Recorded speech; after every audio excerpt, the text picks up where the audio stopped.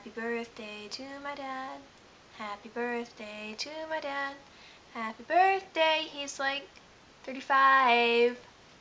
Happy birthday to my dad. I look like Rudolph, I know.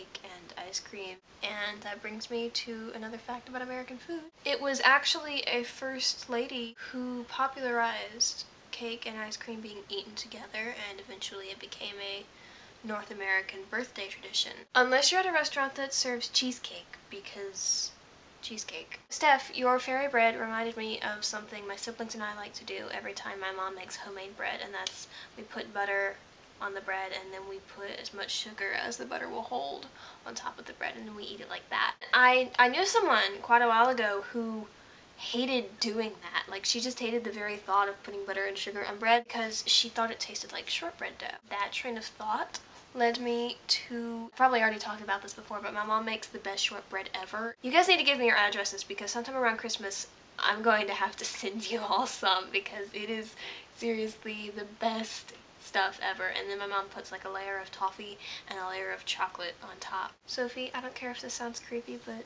I kind of just want to like stroke your hair. Yeah, that sounded creepy. Sorry. Pastries are always good. Yummy. Always appreciate a good pastry. I just all watched your videos at once and you're just making me hungry. But seriously, those homemade french fries looked so good. Rozzy, you cannot understand the amount of jealousy at you being able to even see Frankenstein on screen. I don't... Ah. Moving on, I have never had Yorkshire pudding. Your talk of mashed potatoes reminded me that my mom makes the best shepherd's pie. I know I'm bragging about my mom making the best of everything, but she makes the best of everything. I'm just really, really hungry, and it's like hours away from dinner. And have I even eaten food today? No, I forgot something. Brianna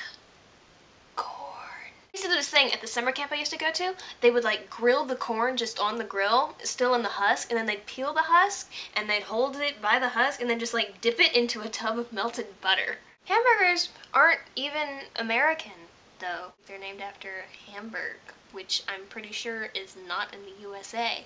So since we've been talking about food lately, I was thinking what my favorite kind of food is.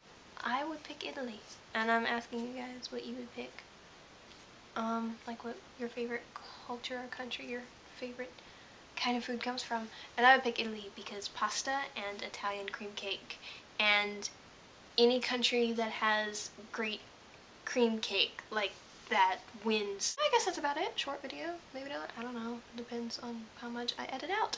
So I guess that's it and I hope you are all having a wonderful day and week and I'll see you all sometime soon. So bye.